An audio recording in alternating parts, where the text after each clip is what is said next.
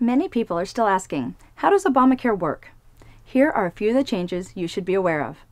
Health plans now offer a greater variety of prescription drug coverage, making medications more affordable for everyone. Individuals are now required to obtain health insurance or pay a tax penalty.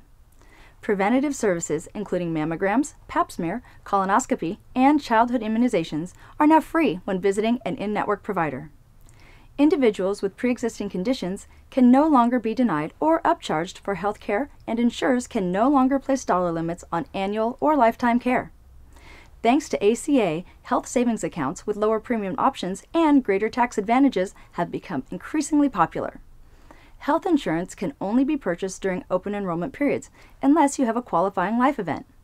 If you currently do not have a life event, then short term health plans are available as an alternative. Call one of our licensed agents today for more details.